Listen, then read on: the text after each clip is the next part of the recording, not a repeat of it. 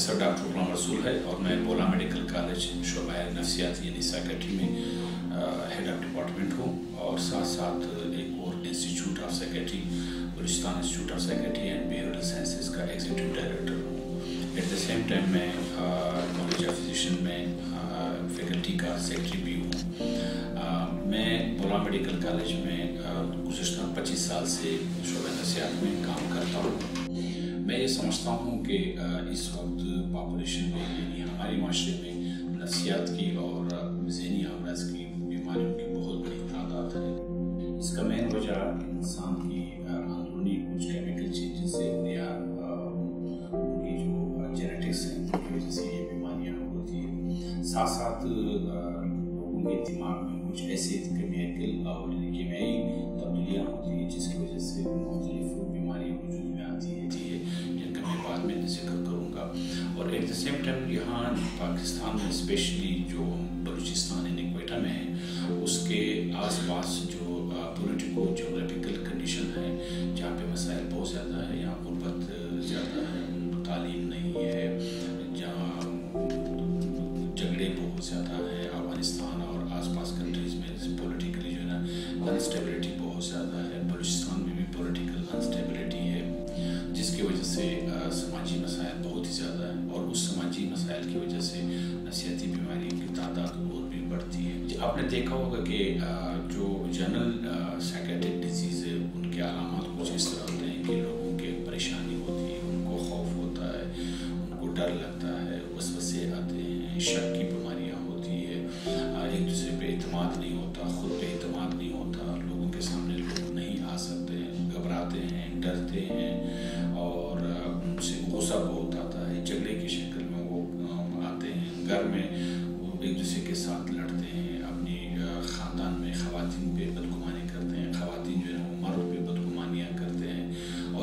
خاص وجہ نہیں ہوتا، لیکن ان کو یہ خیالات آتے ہیں، بہت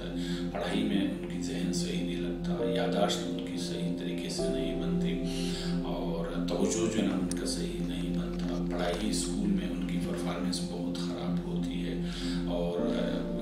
اس کے ساتھ ساتھ کچھ ایسی بھی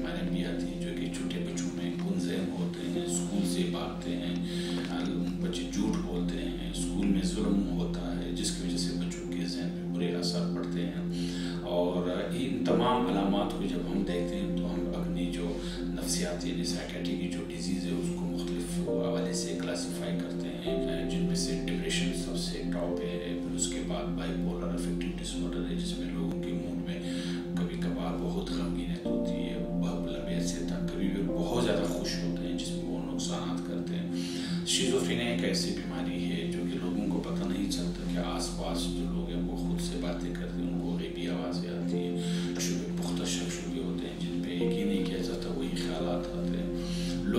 دعوے بھی کرنے شروع کر دیتے ہیں فرض کرے وہ یہ سمجھتے ہیں کہ میں بہت بڑا آدمی ہوں میں ملک کا بادشاہ ہوں میں سسٹم کو سنبھالتا ہوں لیکن اس کے باوجود کہ ان کا کوئی خاص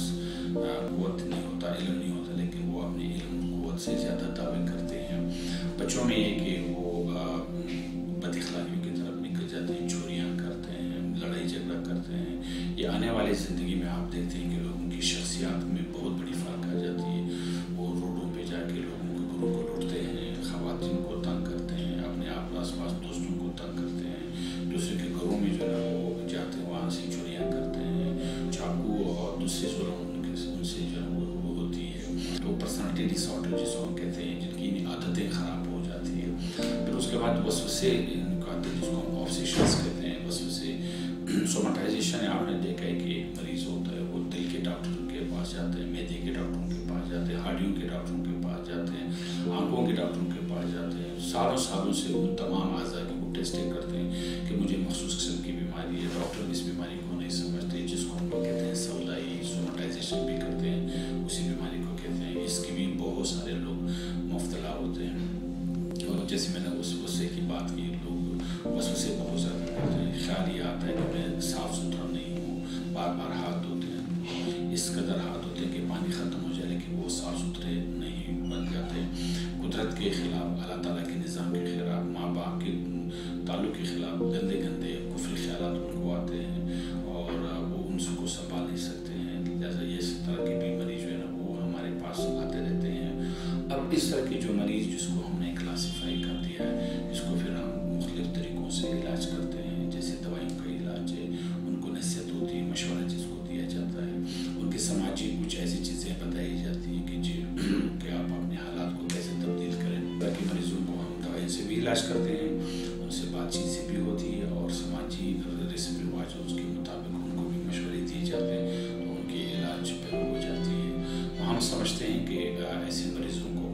وقت علاج کیا جائے صحیح ٹائم پہ کیا جائے بجائے یہ کہ وہ سالوں سالوں تک ادھر ادھر ملتے ہوئے مختلف عالموں پہ مختلف ایسے طریقہ کار کے علاج کرتے ہیں جن کا وجود یا علمی یا عقلی یا روحانی یا مذہبی نقطۂ نظر سے قابل قبول نہیں ہوتا اور لوگ اس کی طرف جاتے ہیں بعد میں سالوں سے جب بیماری پکی ہو جاتی ہے تو اس کے علاج کرنا عام طور پہ ذرا سا مشکل سا ہوتا ہے اور اس کا نتیجہ پھر بہتر طریقے سے نہیں آتا سمجھتے ہیں کہ اگر مریض جو ہے نا، وہ اپنی بیماری کو تسلیم کرے یا اس کے رشتہ دار اس کو پہچان سکے اور جلد سے جلد اس کا علاج کر سکے، تو اسے یہ ہوگا کہ مریض کے علاج میں بہت زیادہ فرق ہوگا اور اس کو مزید مشکلات میں پورا جائے گا۔ ایٹ دا سیم ٹائم ذہنی بیماریوں میں یہ خیالات بھی آتے ہیں۔ سے میرے بد اخلاقی کی وجہ سے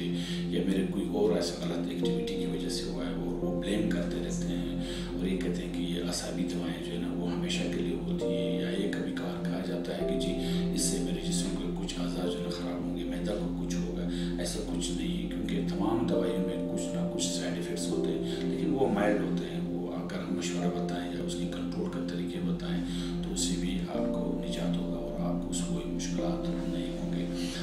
ہم سمجھتے ہیں کہ اگر پر وقت علاج کیا جائے پر وقت تشخیص کیا جائے پر وقت اس کو علاج صحیح طریقے سے کیا جائے اور ڈاکٹر کے مشورے پہ صحیح عمل کیا جائے، تو